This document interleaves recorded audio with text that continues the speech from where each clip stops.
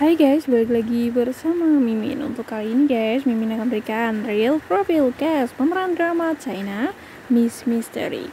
Kalau kamu udah nonton, pasti menarik banget kisah balas dendam Seorang wanita yang keluarganya dibantai. Kemudian setelah dewasa dia menjadi wanita yang sepunya banyak rencana Untuk membalas dendam pada orang yang jahat pada keluarganya dan dia juga bertemu dengan tuan muda yang punya banyak rahasia dan mereka melakukan sebuah pernikahan untuk menjadi pasangan suami istri. Langsung saja, tuan mudanya memiliki nama panggung asli Yang Yeming dan nama Chinese-nya juga sama Yang Yeming guys.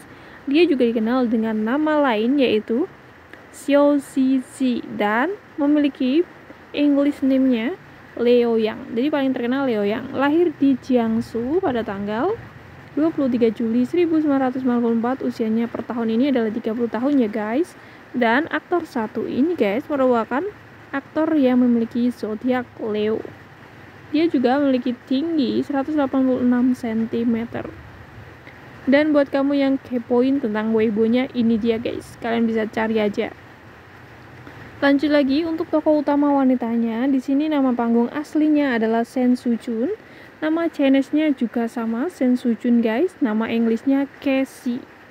Dan lahir di Shanshanxi pada tanggal 9 November 1997. Usianya per tahun ini adalah 27 tahun. Dan dia berzodiak Scorpio dan tinggi badannya 174 cm seperti model gitu guys. Dan buat kamu penasaran Weibo-nya ini dia untuk drama ini memang seru banget buat ditonton. Kalian pasti suka deh karena emang genrenya juga keren serta para pemerannya aktingnya juga memukau. Kisahnya tentang balas dendam seorang anak hingga dewasa saat keluarganya dibantai di depan matanya sendiri.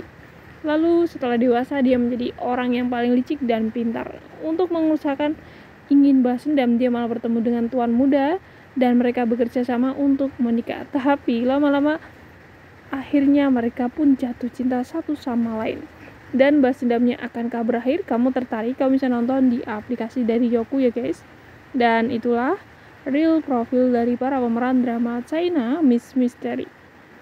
Sekian dulu. Terima kasih. Sampai jumpa di video selanjutnya. Bye bye